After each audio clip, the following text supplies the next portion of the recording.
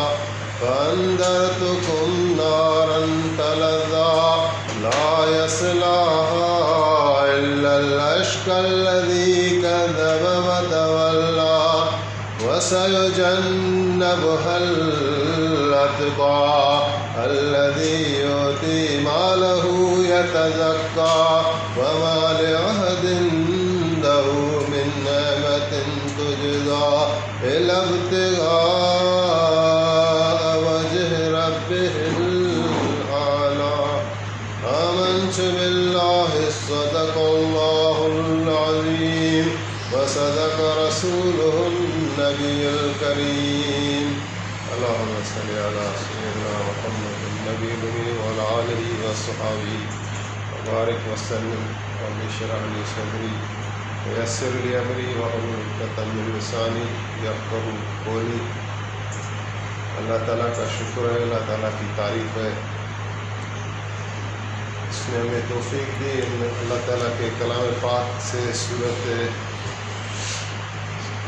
लैल की तिलावत की गई पूरा कुरान नूर है, हिदायत है, रहमत है वनज़िलकुरान मा शिफ़ा व रहमतमिन वला यजीदुलमीन खसारा।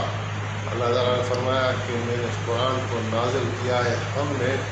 इसमें हिदायत है, इसमें रहमत है। ईमान वालों के लिए, और फिर आगे फरमाया वला यजीदुलमीन खसारा। लेकिन ालमों के लिए ये खसारा बढ़ाएगा, उनके लिए ये बड़ी हसरत है। इन हसरत काफरीन। ये कुरान जो है काफरों के लिए बड़ी हसरत है। क्योंकि ये अल्लाह ताला की आयत है, अल्लाह ताला की तरफ़ से हुज्जत है। अल्लाह ताला ने अपने महबूब मुक़दस नबी मुकरम अलैहि वसल्लम को भेजा। उसके साथ साथ हजूर के अहल बैत अतहार है। हजूर सलाम के सहाबा कराम है, इस सिलसिला जुड़ा हुआ है। फिर ताबईन है, फिर ओलिया अल्लाह है। उनको एक एक हम नज़र से देखते हैं, किसी की ज़िंदगी उठाकर। तो उन्होंने कितना मुजाहिदा किया, कितनी पाकिज़ा ज़िंदगी उन्होंने गुजारी। एक छोटे छोटे भी है, उम्मत में अभी तक लोग ऐसे पैदा हो रहे हैं कि गोया वो हीरे हैं, मोती हैं। और किस तरह वो कलाम पाक को पढ़ रहे हैं, किसी तरह लोगों को पहुँचा रहे हैं और किस तरह इस पर अमल कर रहे हैं। तो अल्लाह ताला ने दुनिया में भी उनको इज़्ज़त से नवाजा और आखरत तो और बढ़कर है दर्जात के हवाले से। तो कहने का मकसद यही है कि आज हमें मौका है, कल वो मोहलत जो है वो छिन जाएगी। क्योंकि हर बंदा जानता है कि वो किसी मुकर वक्त के लिए आया है। हमेशा रहना यहाँ है नहीं। और मज़े की बात यह है कि हमारी जो लम्हात हैं एक एक सांस भी एक एक दिल की धड़कन भी, वो ऐसे समझे कि गिनी हुई है। ना अल्लाह ताला फरमाया कि इज़ा जा अजल ला। युआखिर कि जब वो वक्त आता है, अजल आता है तो किसी को फिर मोहलत नहीं दी जाती। वो बिल्कुल अपने टाइम पर फिक्स है। हती कि हज़रत हसन बसरी रहमत ताला एक बुज़ुर्ग गुजरे ताबई ताबई उनको कहते हैं जिसने किसी भी सहाबी की ज़्यारत कर ली तो उसको ताबई कहते हैं जिस तरह सहाबी उसको कहते हैं कि जिसने हजूर सलाम को बहालत ईमान देख लिया चाहे एक लम्हे के लिए भी हजूर की मजलिस नसीब हो गई अभी वे सहाबी के ज़ुमरे में आ गया तो इसी तरह ताबई फिर इस तरह कहते हैं किसी एक सहाबी को भी देख लिया, उसकी सोबत और उसकी मजलिस में भले एक लम्हा ही रहा तो अभी वो ताबई होगा। तो हसन बसरी रहमत ताला एक ताबई बुज़ुर्ग हैं, हज़रत अली की ज्यारत की हुई थी। और मुफसर कुरान है बड़े उम्मत के अल्लाह में से हैं। वो फरमाते हैं कि जब कोई शख्स मर जाता है, इंतकाल हो जाता है तो उसके घर वाले रोते हैं, पीटते हैं और चीखो पिकार शुरू हो जाती है घरों में। तो हज़रत मलकल मौत जो है इसराइल सलाम, वो उसके दरवाज़े पर खड़े होकर मैयत के दरवाजे पर एक निदा लगाते हैं, आवाज़ लगाते हैं। लेकिन वो इंसान सुनता नहीं। वो फरमा रहे, अगर ये इंसान इसकी आवाज़ सुन ले तो मुर्दे को कोई ना रोए, हर कोई अपने हाल पर गौर करना शुरू कर दे। वो मलकल मौत ये सदा लगाता है कि ए इसके घर वालों मैयत के घर वालों मैंने इसकी घड़ियाँ नहीं ख़त्म कर ली। ये अपनी उम्र गुजार चुका मैं इसका रिजिक नहीं खा गया। ये अपनी रोटी रिजिक पूरा कर चुका था। मैं तो अल्लाह के हुक्म से आया और इसका रूह कब्ज़ किया और मुझे तो अल्लाह के हुक्म से इस घर में बार बार आना है। तो जितने भी नफूस हैं, ज़ाहिर है कुल नफ्सिन मौत। तो मौत है कि ऐसी चीज़ है कि बाज़ात हम देखते भी हैं। मैंने भी अमवात देखी है अपने अज़ीज़ कराब अकारब की। मेरे वाल साहब मेरे हाथों में उनकी रूह प्रवास कर गई। इससे पहले मेरी स्टेप मदर थी वालदा। उन्होंने मेरे सामने दम तोड़ा। तो मेरे नाना थे बिल्कुल आपको महसूस होता है कि वो आखिरी जो सांस है ना, कुछ चीज़ थी, वो ऐसे निकल गई।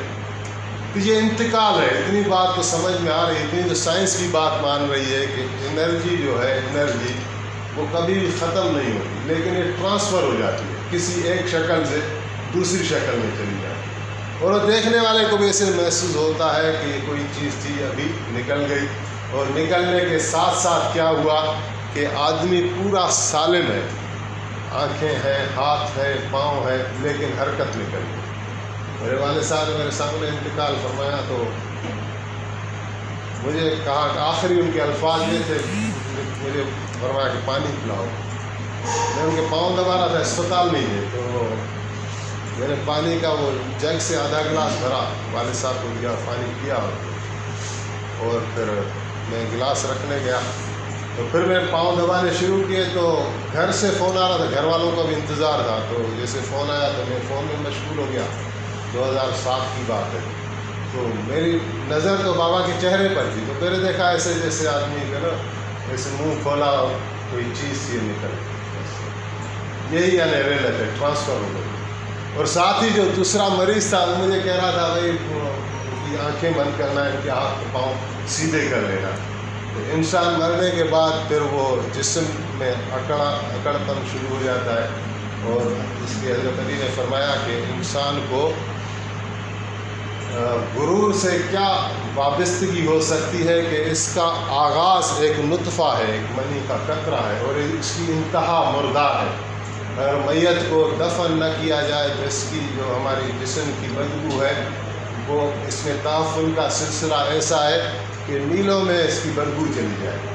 तो हमारी मजबूरी बन गई कोई, यानी इंसान जो भी है, उसकी ये मजबूरी बन गई कि लाश का कोई डिस्पोजल करे। कोई जला देता है, कोई क्या करता है, कोई क्या करता है। लेकिन हमें इस्लाम ने सिखलाया कि मुर्दे की तदफीन होती है। फिर गसल देते हैं, फिर कफन देते हैं।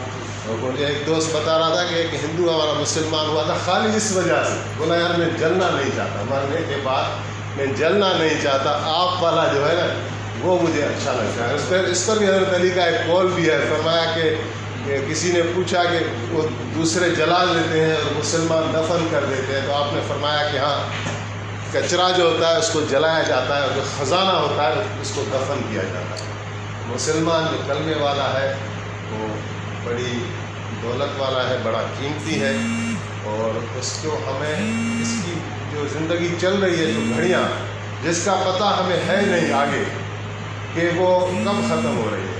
न आपको पता है, सारों को, कि ना ये ज़िंदगी पर मुनहसर है कि इतने साल हो गए तो बाकी इतने रह गए। ना ये सेहत पर है, ना बीमारी पर है। मौत किस वक्त हमें आप पकड़ेगी, ये अल्लाह जानता है। अल्लाह ताला ने हमसे छुपाया हुआ है बहुत सी बातें हम नहीं जानते। अल्लाह जानता है, लेकिन इतना है कि हम अल्लाह ताला की तरफ़ मुतवज हो जाए उसके बागी न बने। रसूलुल्लाह सल्लल्लाहु अलैहि वसल्लम के वफ़ादार उम्मती बने और बागी न बने। हजूर के तरीके आज हमें अच्छे नहीं लग रहे गैरों के तरीके हमें अच्छे लग रहे हैं। तो क्या हम जाके मुँह दिखाएँगे? हमें तो फ़ख्र होना चाहिए हमें तो नाज होना चाहिए। रहमत आलमीन अल्लाह के महबूब हैं अल्लाह ने दोनों कदमों की दो, दोनों उनके दोनों कदमों में दोनों जहान के ख़जाने दिए।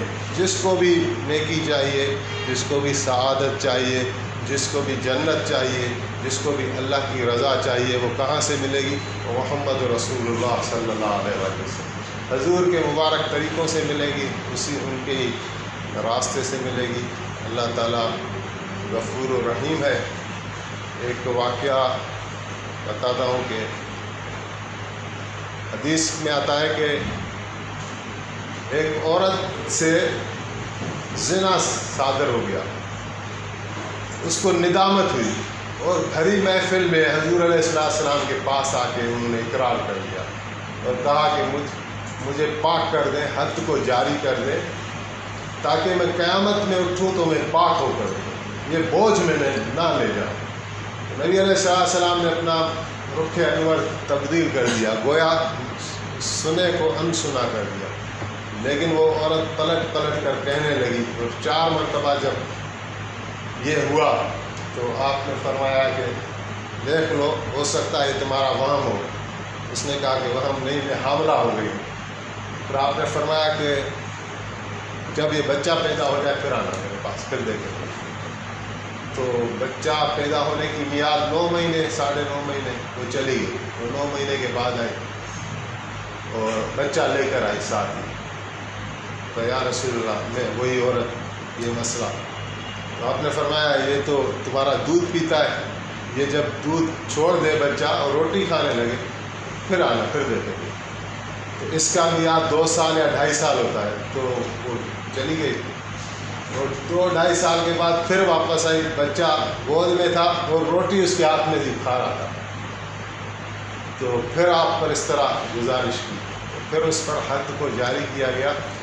फिर वहाँ एक सहाबी ने कुछ कहा, ऐसा कि जो उस औरत की, यानी मजम्मत ने तो फिर नबी सलाम ने फरमाया, इसको बुरा भला नहीं कहो। इस औरत ने इतनी इतनी इतनी इतनी तोबा की है, नदामत से इसका इतना मन भरा हुआ था, कि अगर खाली इस औरत की तोबा को तमाम इंसानों में तकसीम किया जाए तो एक आदमी भी दोजख के लायक नहीं रहेगा। सारों की बख्शिश हो जाएगी। तो एक इसी तरह अल्लाह ताला की रहमत बहुत बड़ी है। वो अभी जो है, हम सेशन शुरू करने वाले हैं। इन ताला ये फिर कभी मुलाकातें हुई या आना हुआ तो मेरा ये रूटीन होता है अलहमदिल्ला से पहले टाइम में हम अल्लाह ताला की और अल्लाह के हबीब की बात करते हैं। और यही होता है मकसद के लोग मुतवज हो जाए। और हम अपनी ज़िंदगियों को संवारना शुरू करें और जहालत के अंधेरों से निकले। अल्लाह ताला का हाथ पकड़ लें, कोशिश करें। अल्लाह ताला गफूर रहीम है। अल्लाह ताला फरमाता है, तुम मेरी तरफ़ एक पैर बढ़ाते हो, एक कदम बढ़ा, बढ़ाते हो, मैं दो कदम आता हूँ। और जो मेरी राह में चल निकलता है तो मैं दौड़ कर जाके उससे मिलता हूँ। तो अल्लाह ताला की तरफ़ हम रुजू करें। अल्लाह ताला तमाम के तमाम गुनाह माफ़ करने वाला है, एक लम्हे में माफ़ करने वाला है और ताल्लुक़ को किसी न किसी से आगाज़ कर दें। बस आखिरी बात यह कि अगर ये हज़ार खाने हमें मिले हैं और हज़ार खानों में अलग अलग गंद पड़ा हुआ है, अगर हमें कहा जाए इन हज़ार चीज़ों को निकालें और उसमें ये ये अच्छी चीज़ें डाल लें तो हम अगर काम शुरू करेंगे तो हमें कम से कम एक खाने से ही हमने आगाज़ कर दिया, एक खाना आज साफ़ कर दिया और बुराई को निकाल कर कोई अच्छी चीज़ डाल दी। तो ये एक कदम तो हमारा हुआ एक कोई नेकी को आज अपना ले दुरू शरीफ की एक तस्वीर को अपना ले, अगर कोई नमाज़ नहीं पढ़ता तो एक वक्त की नमाज़ से आगाज़ करे, पाँच वक्त नहीं पढ़ता, एक वक्त से आगाज़ कर ले तो बस यही है कि अल्लाह ताला हमें इस पर अमल करने की कोशिश करता फरमाया